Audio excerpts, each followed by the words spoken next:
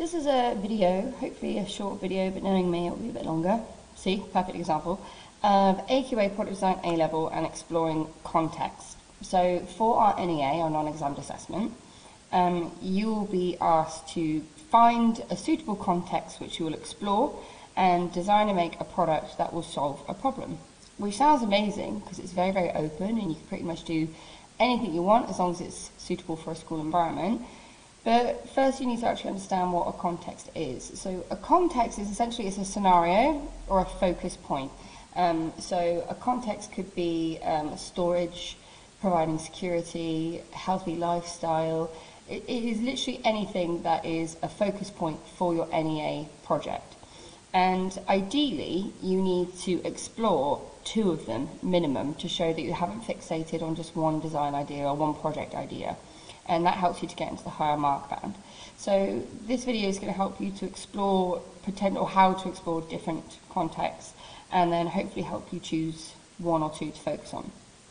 So the way I like to start is I, I do love a mind map, I found a mind map, and all I put in the middle is project ideas. Really nice and simple. Now, in order to help me out, I'm going to think about my home life, I'm going to think about my school life because that's where I spend most of my time when I'm not at home. I'm also going to think about my local community. Whoops. And I'm also going to think about wider world issues or wider issues within society that I could potentially help out with. So, my home life. Um, what problems do I have at home that maybe I could help solve with? So, for me personally, it's organisation um, I've got a little one, keeping my house clear of any um, sharp objects. So I do a lot of knitting, a lot of sewing, and I have loads of little sewing tins, and I've got to try and keep them out of reach. But sometimes I forget, and oh my gosh, it's a bit of a nightmare. So organisation, uh, I might go for um, small, sharp objects. Um, such as uh, sewing tins, sewing tins um, organisation also, um, I don't like the term craft, it's just me personal, but craft items. So again, I like to knit, um, E.G knitting. Um, I use either bamboo or polymer knitting needles, which means that they are quite flexible and also means they break easily. So I need storage um, to help with that as well. So craft so this would be organisation and storage. So what I'm literally doing, I'm thinking about what is happening in my life that I could potentially work with. Because if you have a context that you're actually really close to, something that's um, fairly personal, something you've got experience with, you'll have a much better understanding as to what research you'll need to do, who your client could be, because you should always avoid having yourself as a client. Um, any student who has themselves as a client, I think, struggles when they hit that wall of, I just don't know what to do because you're your own client, you don't have someone to go to and say, oh, what would you like? How, how do you feel about this design? It can be difficult to get over that block. So um, you want to choose a, a project idea that you have some connection with, but also you can find a client who you could actually make something for that isn't yourself. So in my case, it would probably be, um, uh, my client would probably be my husband, my other half. Um, I mean, my client could be my son, but he's one years old, so he can't really talk. So my husband would have to be an advocate for him, but that's absolutely fine because if you do want to make something for a child and you know that for a fact you can't interview them because they won't know anything about that as a, as a concept, the parent can be um, a client. So you can work with young people. Um, but to summarise, I'm choosing or focusing on things that I have personal experience with, that I can identify problems and identify things that I could potentially solve. And storage is a lovely, easy one uh, because it, it, it's not easy, but it's really creative, and there are just so many opportunities that go along with it. Um, knitting as well, I'm also thinking about lighting um, because in our living room we don't we have one beautiful floor light um, we're at the end of our sofa, but the dog often sits there. So when I'm knitting, I have to sit on the floor in front of the sofa because my dog rules the household. So actually, some lighting specifically for specifically for um, small. I'm trying to think of the word. Small working? Small working? No. Uh, intricate. Oh, four. Got the word. Intricate work. There you go. Perfect.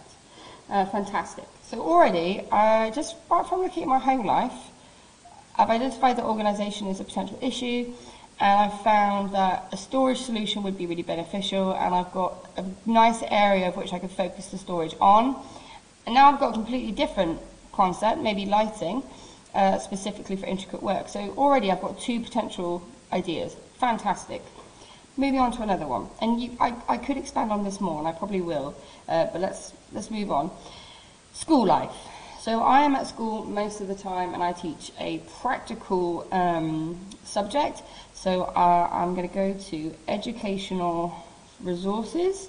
So we obviously teach a lot of theory in science and technology, and some students find that really difficult to grasp because they don't have something physical in front of them to explore. So I'm going to do um, physical resource boxes. Uh, and then the problem is going to help teach theory in an oops a more engaging way. Brilliant. Uh, and my client could be uh, obviously a teacher uh, slash a colleague for myself. Perfect. There you go, so a physical resource perhaps. Um, again, storage of equipment, storage, so it could be stationery, or it could be tools. There's an idea. Um, what else could I do for school life? Um, I might do something about. Um, I don't like uh, the single-use, single-use canteen uh, supplies. So the single-use trays, for example, um, or boxes for food, uh, that makes me quite sad. So I wonder if I could come up with maybe a system uh, for reusable um, cutlery or um, uh, utensils, cutlery and utensils, the same word. Cutlery and, uh, I can't remember what plates would come under. Dishware? Dishware. Whatever. Uh, reusable, uh, I'm just going to put food, food utensils. There we go. Uh, also, you've got to think about easy, clean, uh, it's got to be stackable as well because you've got to think about storage. Uh, could be maybe color coded. Not too sure. Just, just like verbal vomiting onto my page of just anything that's popping into my head because it's showing that I'm actually exploring all of these different ideas. Um, and these are the, these are the most two interesting things: community and wider issues. So community, I'm thinking about my local village, where I actually live, and what the problems are. Um, now, I, I have a problem, and I've, I've told this to my students, and it's um, in my doctor's surgery, we have um, a display stand for um, leaflets to help with, you know, informative leaflets. But because the building is an old building and it's a small building, they're not allowed to put up shelves. And the leaflet stand is behind the reception counter where no one can actually reach it, which is really silly because if you want to get a leaflet, you have to ask for one. And if you want a leaflet on something discreet, you have to ask a receptionist, which some people might not feel brave enough to do because you know small villages, eh, everybody knows everybody. It can be a bit uncomfortable. So for me, community, I would think about my doctor's surgery, and I would think about the fact that um, accessible, accessible um, uh, health resources. And then I would expand on that, and I would explain the fact that it's about um, uh, a stand stand for self-help leaflets. The other thing as well is um, entertainment for young people, entertainment for children, whoops, uh, which noise free.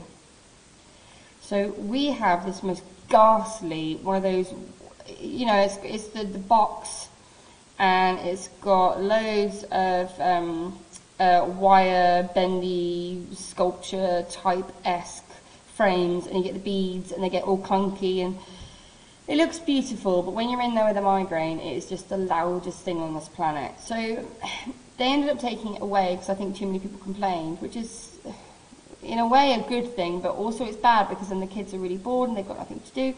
So maybe a noise-free um, toy or some kind of entertaining, something as entertainment uh, would actually keep them, you know, feeling a bit better, a bit happier. Parents who don't feel well have somewhere to drop them off and just so they can entertain themselves for a minute. So that would be a really nice one, and it would still help my local community. Um, the clients could be, again, my doctor's surgery. Um, it could be a parent because I'm making it for a child or um, targeting it to children. So a parent could be my client and I get some feedback from them. Um, so that's quite a nice one. Uh, anything else within the community? Uh, what can I think of? Uh, perhaps um, our, our village board is uh, really damaged and broken, so um, village displays maybe. Uh, create a board that's easy to access and also easy to clean, easy to monitor, um, but also secure, secure, so it's not very breakable. And you've also got to think about weather resistance as well. Um, so that's just a couple of things that I could think of for my local community, so things that are within my life. And again, these are all things that I've thought about so far that directly affect me because that makes my life easier because like I said, I'll have a personal connection to it and I'll have a better idea as to what the problems are that I can solve. Wider issues. Now this one is a little bit trickier because immediately we think of things like world hunger, we think of things like homelessness, homelessness. Really, really big issues that, let's be realistic, we're not going to be able to solve these because, you know, we're still learning about the world of design and technology and product design and how, how on earth am I going to solve world hunger? However, litter. Litter is a massive wider issue that affects both local communities and the wider world because it impacts on the environment and by making sure that we are actually um, recycling our litter and disposing of it correctly, we are being more sustainable. So litter is a wonderful one to think about because it solves a wider issue as well as a local issue and literally anyone could be a client. You could have um, a local council member as your client. You could have uh, someone who lives in your village or your area. You could literally have anybody because it's about litter, about how you can make your um, your uh, community or the wider world a cleaner, safer place. Uh, you could even get more specific and maybe think about um, uh, alcohol, cigarette, cigarette disposal because I don't know about you, but whenever I take my dog for a walk, I often see a cigarette butt somewhere or an empty beer bottle, empty cans, um, which is obviously really, really sad, massively un unnecessary and inappropriate. So maybe creating some kind of dis um, disposal unit, I dot E dot, a bin, specifically for these items, but maybe make them so they can um, not blend into the surroundings, but, um, oh, here we go, blend in, look more decorative. Because what you don't want is a massive red bin that just says alcohol on it, because that's going to be really displeasing. If you're using it in a variety of towns or villages or even big cities, you want it to kind of, you want it to fit into its environment, so not be camouflage, but not stick out like a sore thumb, so it ruins the aesthetics of the environment. Um, maybe it could look fairly sculptural, maybe it could look uh, quite enticing, like, oh my gosh, what is that? And then you see what it's actually for. It's a bin. Um, so that's one possibility, litter. Um, another one, um, third world resources. Oh gosh, I do apologise for my writing. This is a really interesting one. So think about third world countries and uh, again, we can't supply them with water with our project. Um, I mean, you might be able to come up with a, a, an amazing way to access water better. I, I, I, don't know, you might be that savvy. But I'm thinking of things like um, uh, accessibility, accessibility uh, maybe school supplies. Maybe you want to create something, a, a resource box um, that's easily transportable so it can go from school to school so it can help young people to actually access the equipment they need to learning um, to learn which could be something as simple as books stationery I'm not necessarily saying or maybe, maybe even laptops maybe it can have a, a charger in it so it can actually transport electrical equipment as well. I mean that's a really big thing but you could look into it that's really exciting um, another one for third world issues. Um, this is one that a student said um, uh, a couple of years ago now, and it's always just stuck with me. Uh, feminine hygiene products. Making them more accessible. How can we get them from uh, maybe setting up um, uh, donation boxes which can be easily trans uh, converted into actual packages that can be then sent off or mailed off? But that one stuck with me for a few years because I think that one's an extremely interesting one. Um, and again, the client there, your client could be just female. Like, you know, um, what products uh, are easier to access? What products do you think would be suitable for an environment where, you know, hygiene is a massive issue? They might not have sinks uh, everywhere in every point. So what's easier to use, what's simpler to use, etc. So that one might be a really interesting one to um, look into, but it's so large compared to litter, compared to entertainment for children, making um, things more accessible in my local doctor's office. But this is how big you can go with your context. You can literally choose anything that will inspire or infuse you, things that you can really grit your teeth into. And this is how I would start my, amazing mind map, and I would literally just expand on all my ideas. Um, you might want to also focus on um, your own personal hobbies. Uh, you might want to focus on uh, travel if that's something that interests you. Maybe you've traveled a lot or you intend to travel a lot. But think about things that actually excite you. And once you have filled your page with lots of different ideas of what you might want to do, you're then going to choose two of them to expand on further. So I am going to choose um, organisation for home life specifically. And I'm going to choose...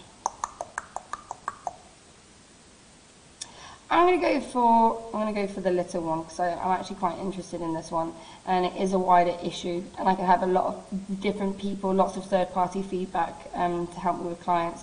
And I want to focus on this one here, so to create um, uh, something to help dispose of random alcohol cigarette uh, butts. Um, and I want it to be uh, a more decorative item as well as functional.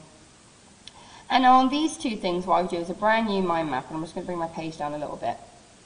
Uh, I'm not going to start the mind map here, but I'm going to give you the points um, that I would write down.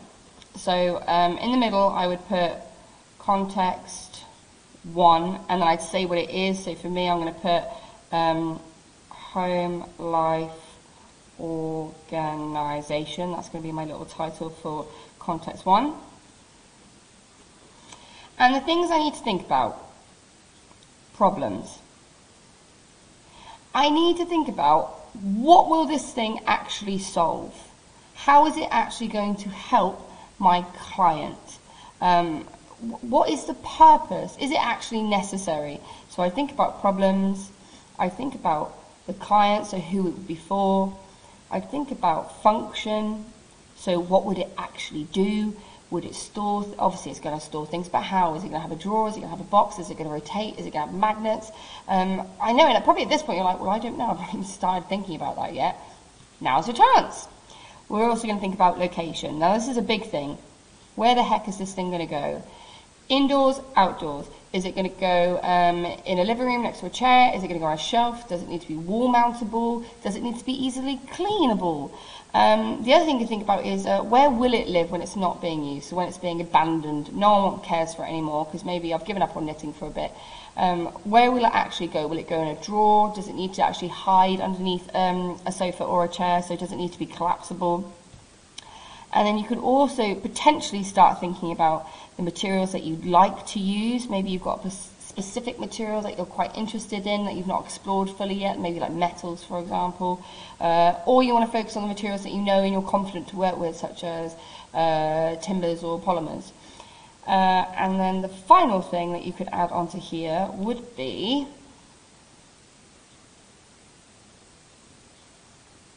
ergonomics. So how can you make it comfortable, easy to use, but also accessible.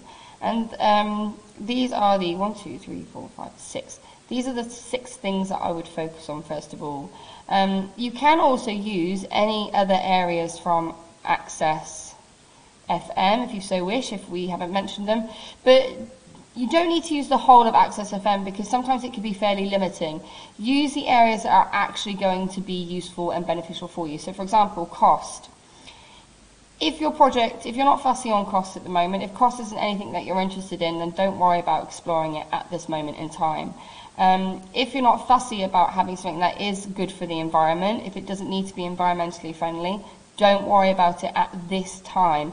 As you do future research, you might actually find, oh, yeah, no, actually, I do want to use more renewable materials because at the moment I'm using a lot of finite ones and that's just a bit, that's a bit too much. So don't limit yourself to Access FM.